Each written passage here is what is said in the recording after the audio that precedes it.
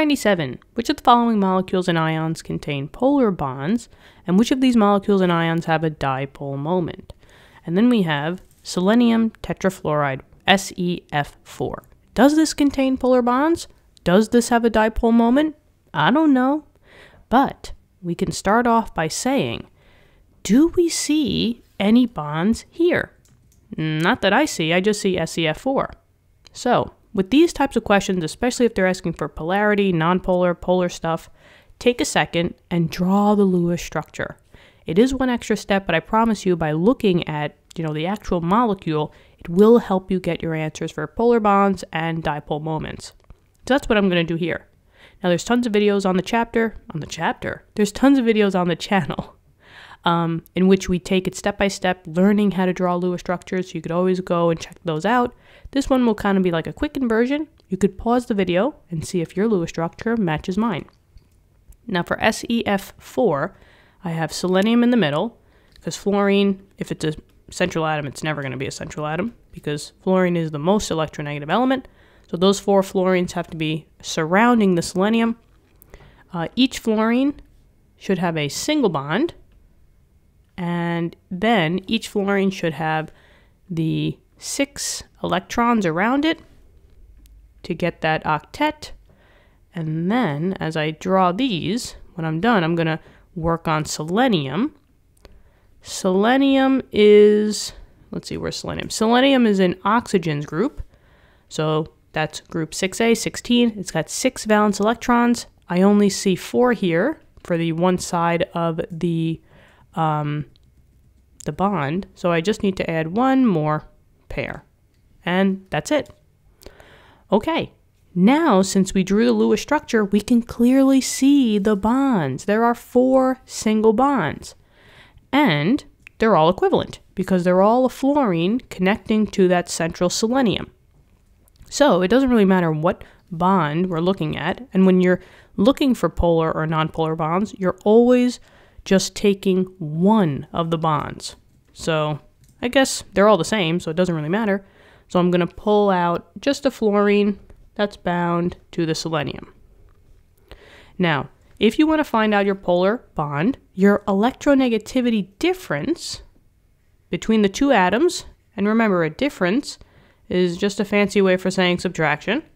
So you're going to subtract those electronegativity values, and if you are in the realm of 0.4 to 1.8, you have polar bonds. So I just quickly go to my electronegativity chart. Uh, fluorine's electronegativity is 4.0. So I'll do that here, 4.0. And selenium is 2.4. Just know that when you are taking these, the difference between them, always take the higher number minus the lower number because electronegativity difference can never be negative. So if you do get a negative, just take the absolute value. So when we do subtract 4.0 minus 2.4, uh, I think we get a 1.6. And it just makes it. It's still in the realm of being a polar bond. Um, we're all the way at the tail end. And just know that if you go beyond 1.8, you are an ionic bond. So in this case, though, we're just right there. So this is a polar bond. So this molecule contains polar bonds. Now as I'm coloring, let's talk about the dipole moment.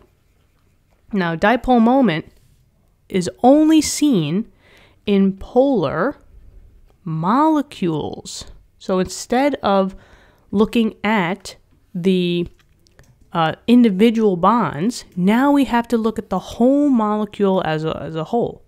And a dipole moment just basically means that you have unequal sharing somewhere of electrons in this molecule. And that's where the polarity comes from. Now, this is where the acronym SNAP comes in SNAP.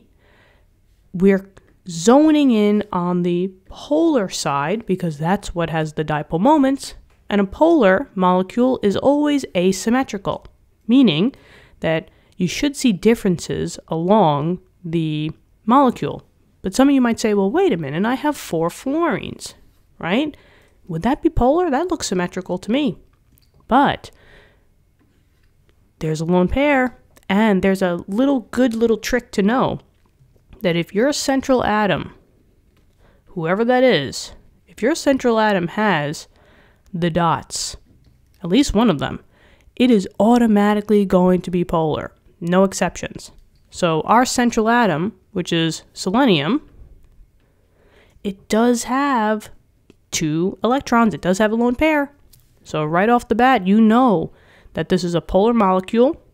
And because it's a polar molecule, polar molecules have that dipole moment.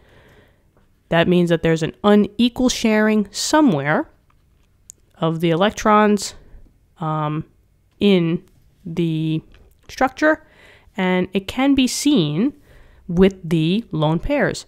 This bond to fluorine going to the left cancels out with this bond to fluorine going to the right. This fluorine bond up top cancels out with this fluorine bond going on the bottom. Nothing's canceling out the two electrons.